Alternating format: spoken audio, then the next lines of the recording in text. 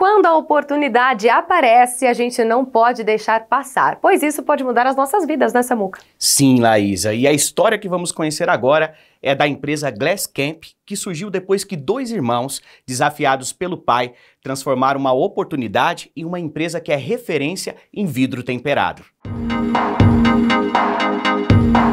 Este é o André. Por quase 10 anos, ele trabalhou com o pai em uma vidraçaria. Mas, em 2012, uma oportunidade mudaria a história do empresário e da irmã Ana Flávia. Tivemos uma oportunidade, né? E o meu pai sugeriu, né, que eu desse sequência nessa empresa com os maquinários, né, que estavam à venda. E deu certo, né? É, nesse período foi, tivemos muita dificuldade, né? E resolvi encarar esse, esse desafio.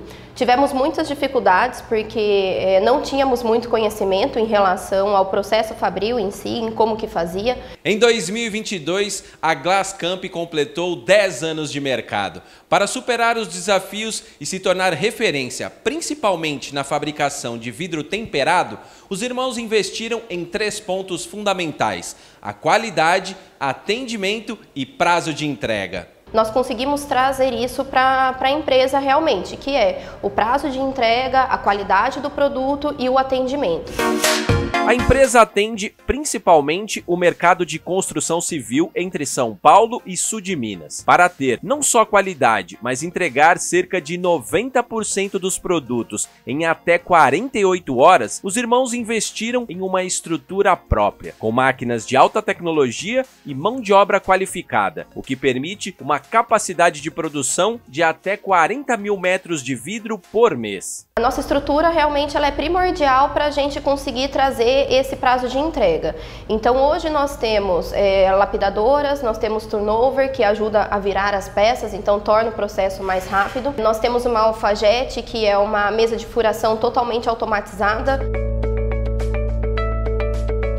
Buscando sempre atender a real necessidade de cada cliente, a Ana conta que eles vão ampliar a fabricação com uma autoclave, equipamento que serão os pioneiros em Paulínia e região. E sempre pensando no melhor para o nosso cliente, nós estamos trazendo uma novidade aqui, que é a parte de laminação dos vidros laminados.